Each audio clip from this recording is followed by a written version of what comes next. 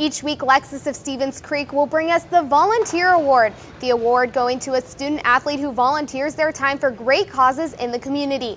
This year, the Volunteer Award will lead to five scholarships given away by Lexus of Stevens Creek at our end of the season awards banquet.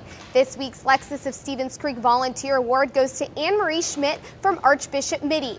This summer, when Anne Marie wasn't busy studying or playing volleyball for the Monarchs, she traveled overseas to India. While there, Anne Marie helped out at a variety of schools, tutoring and playing with young children. She also took the opportunity to visit several aid centers assisting those in need. Anne Marie talks about how this volunteer experience impacted her life an extremely eye-opening experience for me and the people I met there were extremely hospitable and welcoming and just have impacted my life in a tremendous way.